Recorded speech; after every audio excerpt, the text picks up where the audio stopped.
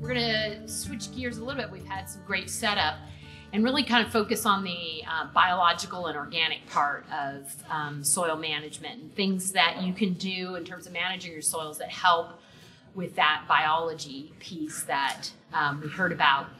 Um, I think it's really pretty striking that we're talking about soil microbes in just about every one of these sessions. I think, again, if you go back in time, I don't think too many people 20 years were talking about soil microbes, but I think there's an increasing recognition of the important role that um, the fungi and bacteria play in the soils in terms of um, nutrient cycling, making that very expensive fertilizer that you put on your trees more bioavailable and um, soluble in the soil, helping combat some of the multitude of soil pests, which can be um, of, of, nematodes, uh, bacterial, and other fungi. Um, in the soil structure as well, and the, the, the properties around um, how that soil holds water. So I think Bill said it, uh, Bill Brush in his video said it really nicely. The microbes eat first, and that's value to you because those microbes are particularly important for all those reasons I just outlined. And then um, Ben also talked about soil testing and maximizing roots. And so um, I'll start off with a little science, and then we're going to turn it over for a little more research, and then a lot of uh, actual in the orchard experience to top on that. So there's a variety of different organic um, amendments that you can use in almond orchards. And we're doing research or have done research on all of them. So you'll hear a lot about cover crops today. Um, some really important research that shows that um, having um, more continuous coverage, more roots in the soils in an almond orchard is correlated with some of those really positive mycorrhizal fungi that are associated with the almond tree roots and help with some of those properties like nutrient cycling, combating soil pests, and so forth. Um, so that's research in almonds. We're going to hear about research in this region in cover crops. We know that cover crops is not something that works in all orchards every year um, because of our irrigation systems and the paucity of rainfall some years in the entire state and some years in certainly the southern San Joaquin Valley. In addition to cover crops, there's compost application. We have done research on compost as well, and we have some um, additional research that's just getting started this year. Um, mixed results in terms of actual yield benefits for compost, but some good evidence um, that it can be an important way to achieve some of the nutrients that you need in the orchard. Virginia Jameson from CDFA talked about the Healthy Soils program that the state has to provide incentives. Um, I think the Healthy Soils grants covers most, uh, more than half, uh, and almost all of the cost of compost applications. And that's actually the number one practice that almond growers in particular have been applying for those grant funds. And of course, as uh, we've seen the spike in fertilizer prices, a lot of growers have been trying to look at organic amendments like compost as a added tool. Then we have things like whole orchard recycling, which we won't have. Uh, I'll try to summarize a little bit of the science when we get into that, but there is no practice that can add that much organic matter in such a short time. Obviously, you only do it once in the life of an orchard when you take an orchard out and plant a new one.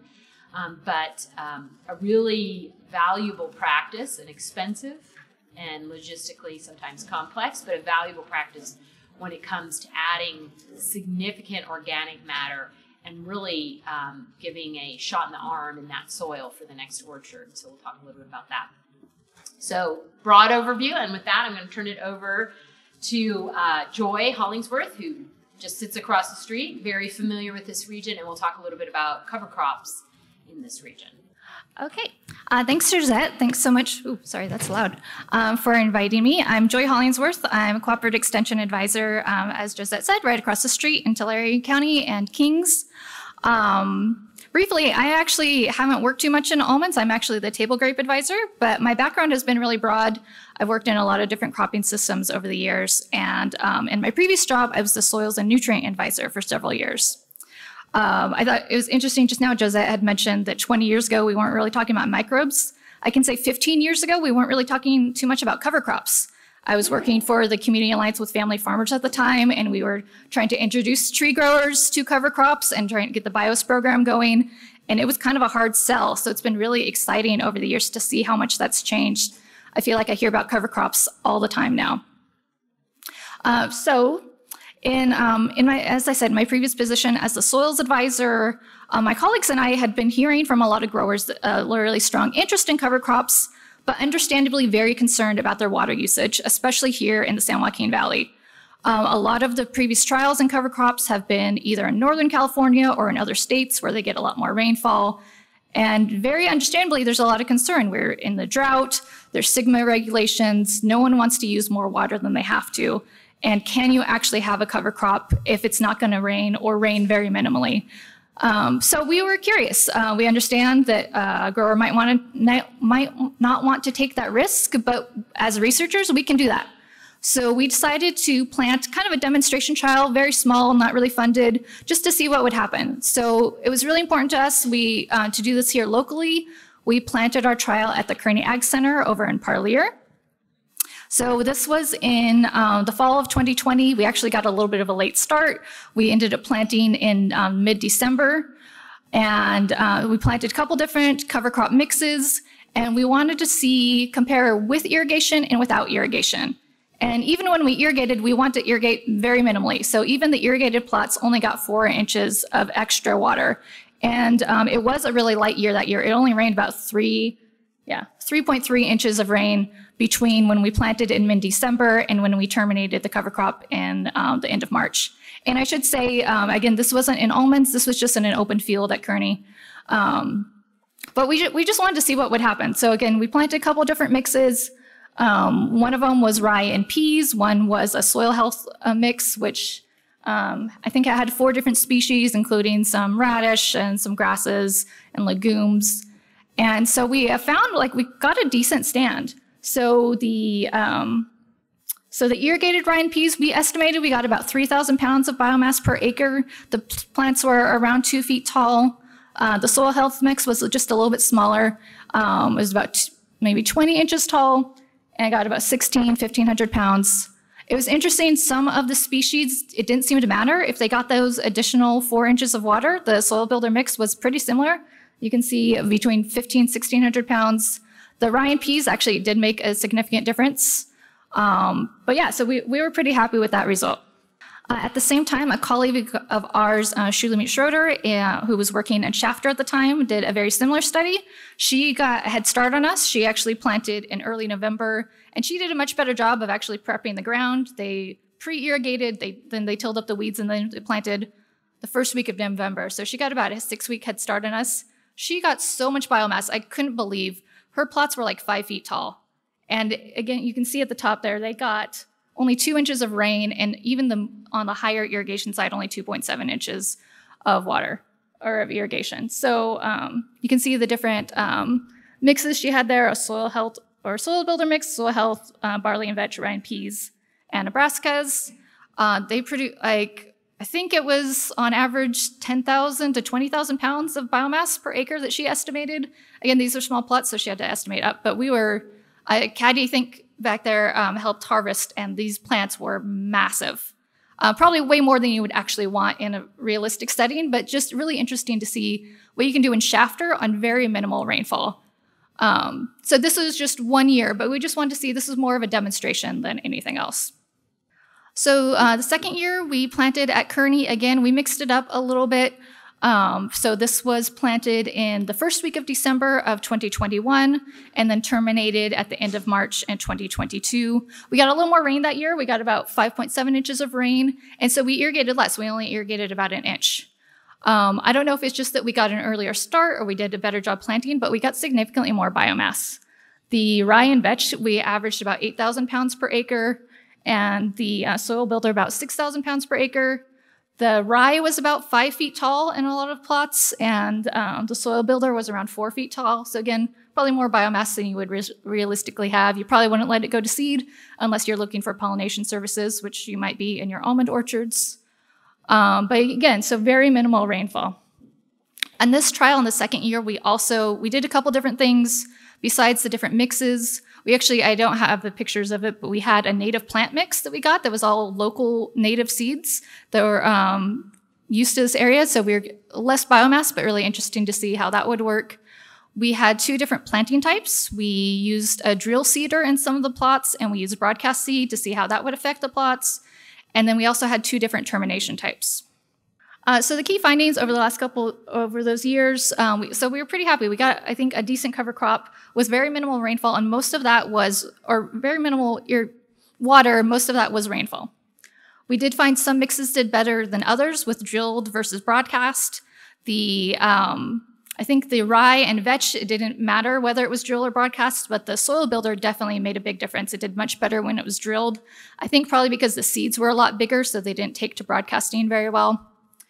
Uh, ryegrass in general, and, the, Kearney in particular, did very well as a cover crop. Then the, so the last thing we did was we terminated terminated it differently. We um, mowed some plots and left the residue on the soil, and then we disked some plots. And we found that the um, mowed plots did better as far as water infiltration. The water infiltration was much faster. And in, uh, we went back a month later and we were curious about soil temperature. So a month after termination, we used an infrared thermometer to measure the soil temperature, and it was like 20 degrees cooler in the in the mowed plots that kept the residue than with the disc plots. So that was really interesting to see. I don't know in an almond orchard if this would affect you guys as much when you already have um, a really large canopy, but in an open field, a 20 degree Fahrenheit difference in soil temperature was pretty amazing.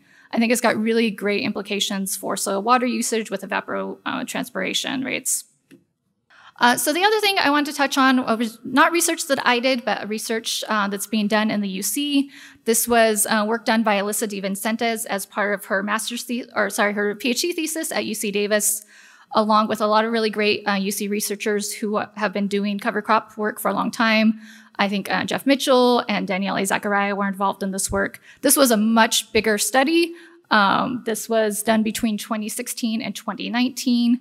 They had 10 research um, uh, locations throughout the state, all the way from Chico down to Arvin. So they were really looking at um, this water usage of a crop, cover crops. This is a really big issue that we're facing right now. There are a lot of people saying cover crops use too much water. Well, they, but no one's quantifying it. So they went through and that's what they did. They um, had almond sites and tomato sites in these 10 different locations.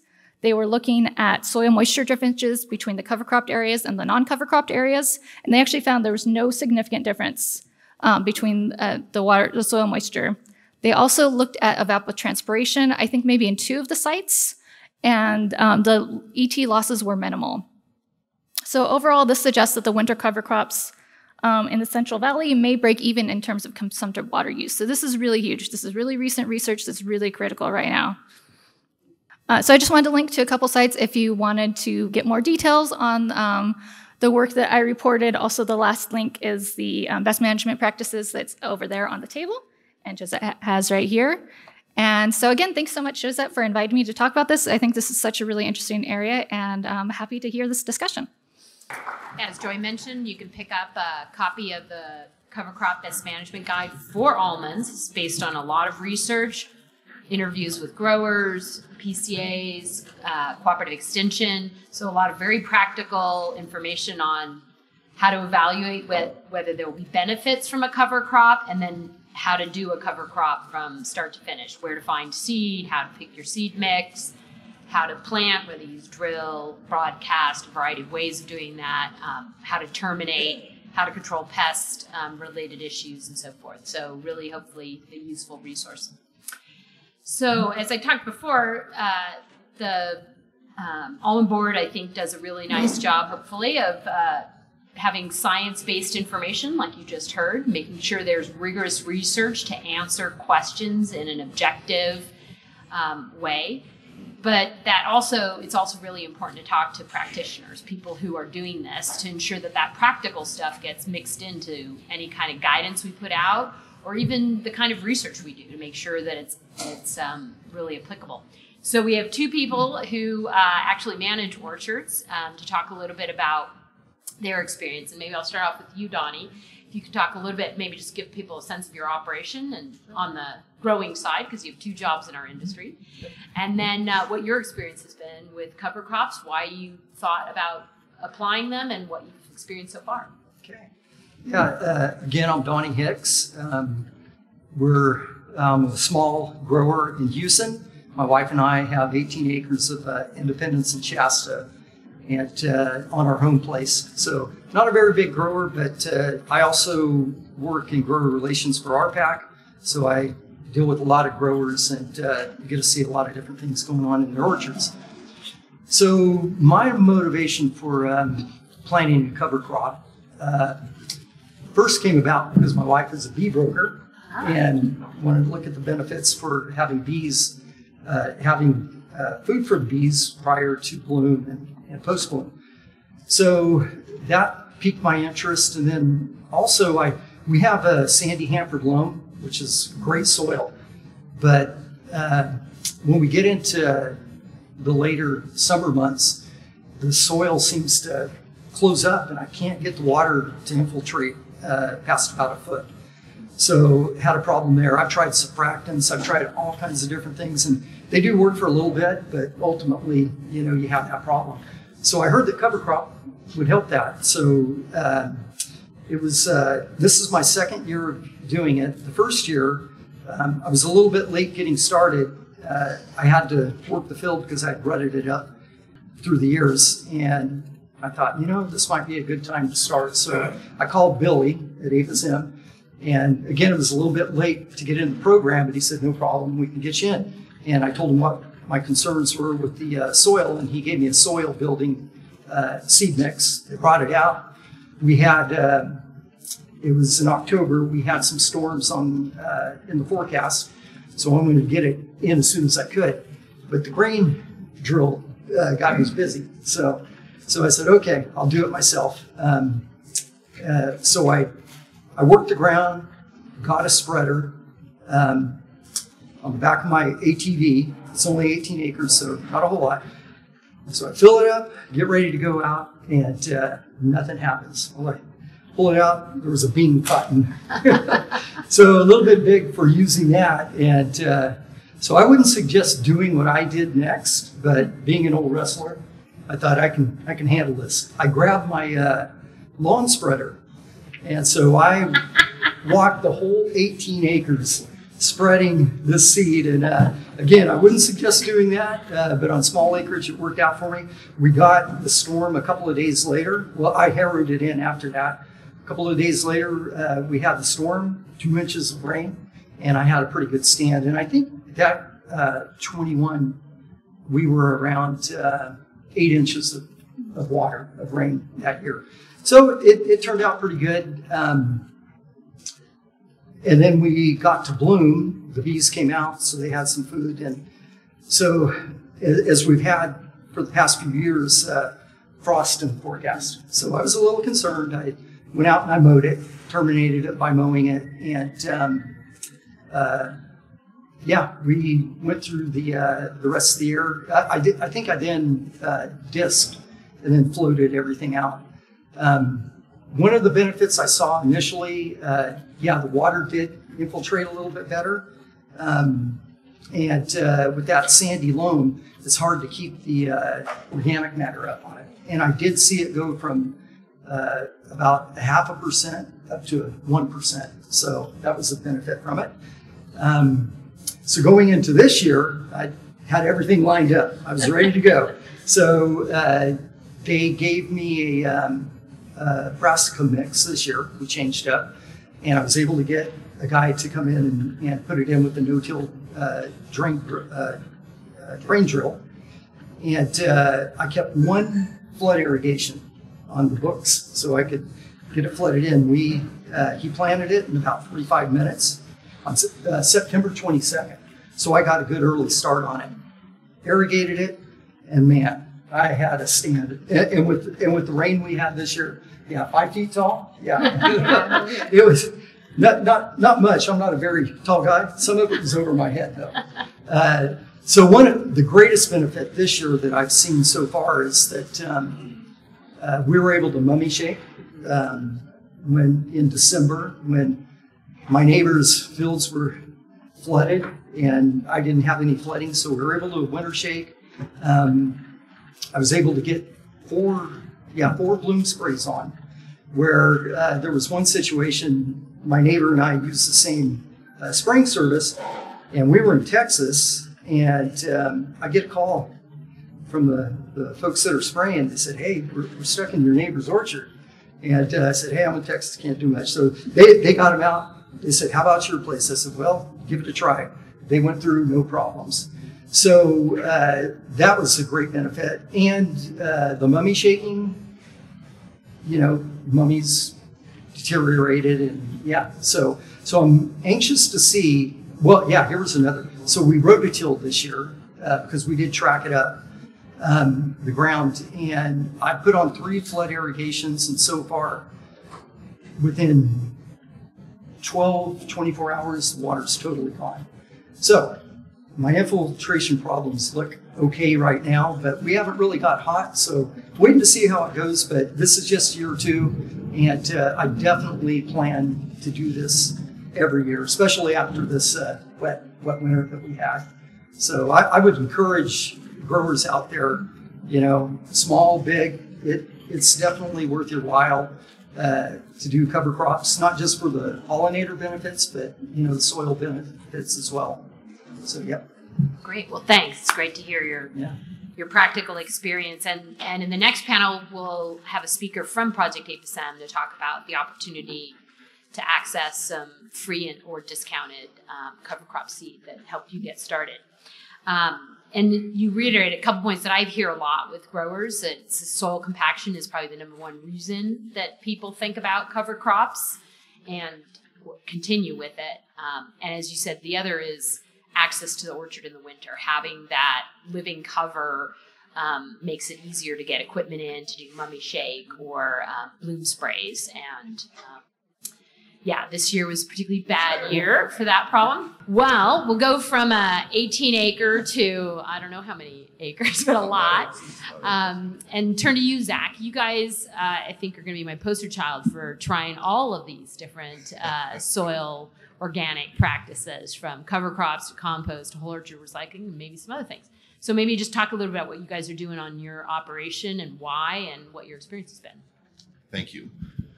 First off, I do have to say if you want uh, good information, you should follow Donnie on LinkedIn because oh, yeah. he always has great pictures, great descriptions.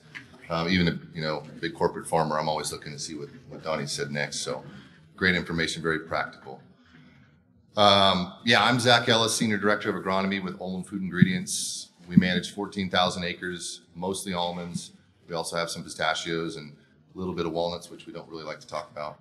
Uh, and we've done a lot in, in cover cropping. You know, we, we kind of came on the approach of pollinator habitat, not soil compaction initially. And I think seven years ago, when I was just starting with Olam, we were one of the first orchards that developed different trial work on the Xerces Society and what mixes of cover crops they wanted to, to deploy commercially to their certified uh, body. So, you know, right out of the gate, we were doing trials on different types of mixes, planting depths, how to irrigate, when to irrigate, you know, when, when to plant. Um, it was it was a, like drinking out of a fire hose for a long time. So, over the years, we've really tried to understand why we're doing these things and, and what the benefit is.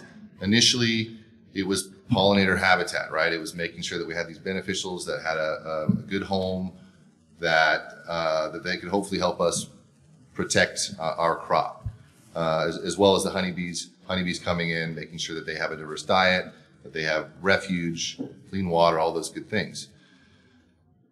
As we went through that, we realized that cover crop is great but there is always a limiting factor. And what we really realize is that if we used IPM approaches truly and unconditionally, if we made sure that we weren't using products like abamectin in the spring just because we like abamectin and it's cheap, or using pyrethroids all year long and killing our beneficials, we really saw a huge difference in our, our ability to control specific pests most specifically the two-spotted spider mite. So as we would go through, you know, we planted for the beneficials. But what we were seeing is that by eliminating some of these harmful pesticides like abamectin and pyrethroids, in addition to permanent and annual cover crop, we could see a huge increase in six spotted thrip. And over two or three years of doing that consistently, now we don't spray for mites. We just don't spray for mites. Even at hull split, there's no miticide in the tank. And those are only on orchards that took several years to build up these beneficial populations and to really become a steward of, of that um, overall life cycle of beneficials and how they work, right? So it's really hard to quantify some of these things. A, if you have a, a partner like a corporate does, like Olam, we can get some of these corporate partners to come and, and fund these projects, which is how it really started, is, is, getting money to fund some of these things to understand how they work. Now we're seeing a, a return on investment in reducing our costs and helping with things like infiltration, um, and then just getting a premium because now we have this pollinator partnership certification. So now I think we're at 75% of our orchards are, are pollinator partner partnership certified. The other 25% will be done by the end of the year. And that'll mark, I think, three years of pollinator partnership and eight years of some type of certification with these, these different cover crops. So the real learning curve for us though was planting timing, planting depth, cover crop mix, making sure that that um, where we plant makes a difference. And by doing that, we really do see a huge benefit in a lot of different ways. The biggest issue I see is that it takes multiple years for you to see a lot of these benefits. Because of that, growers, myself included, are we're not very patient, right? We want things to happen right away. Uh, if it doesn't happen in a year, I'm, I'm tossing it off to the side and going to the next thing. These types of regenerative practices, increasing biodiversity both in the soil and above ground with your pollinators, takes multiple years for it to build. Once you get to that, that critical mass, building that soil health, you see a huge benefit in multitude of ways. Soil health, um, nutrient use efficiencies, we've been able to cut our irrigations without any detriment to our crop. We've been able to reduce our miticide usage. You know, there's just a, a host of things that are now starting to really click for us. So now seeing that, the real question is, okay, that's one component, right? Cover crops is one component. What happens when we stack other regenerative practices onto that, right? So now let's get a whole orchard recycled block. Let's put cover crop on it from day one, but let's also put compost on it from day one. Let's mix a little bit of biochar with that compost and apply that. Now, the types of effects that you see, the compounding interest that you that you start to develop is huge. And that's really what we think is the next iteration of, of sustainable farming and, and just commercial farming in general. If we want to be here in the future, we have to become more sustainable and more regenerative. And the real value proposition is not just one thing, but it's, it's stacking multiple things on top of that same orchard and seeing a huge effect uh, from a biodiversity standpoint, from a use efficiency standpoint, from an infiltration standpoint, from a bee health standpoint. There's just a, a lot of things that really uh, they make a huge difference. So we're excited about it. We're very, very bullish on it. All the orchards are doing it. Uh, you know, there's a huge learning curve on the timing and the depth and the how and this and that. But those are all answers that we can get. Those are all problems that can be solved. It's just a matter of letting that process happen. And unfortunately, it's a slow process. So uh, once you get there, you see the light, and, and that's where we're at. You know, we're we have rose rose colored glasses on right now because we're seeing some of this start to uh, uh, come to fruition for us. But it was not easy, and and uh, but you know, like they say, the juice is worth the squeeze, and we really we've seen the uh, the benefit so far.